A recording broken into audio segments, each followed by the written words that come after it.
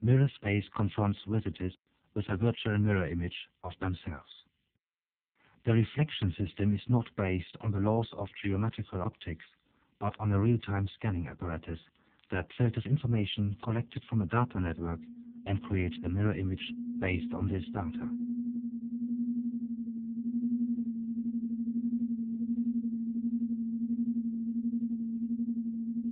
Visitors are scanned at a fixed spatial location marked by a light beam. The information gathered from the analysis of an infrared image of the person influences the properties of the virtual object.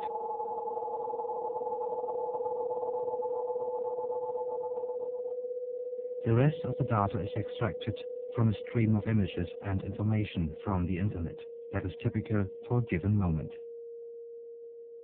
The result of this process is a three-dimensional object that moves according to its structure and confronts other objects in the mirror image.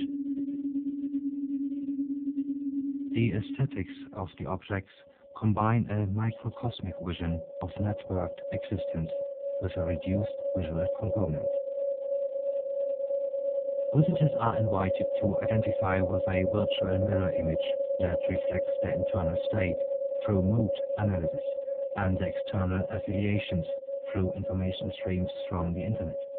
This new word formulates a utopian definition of identity.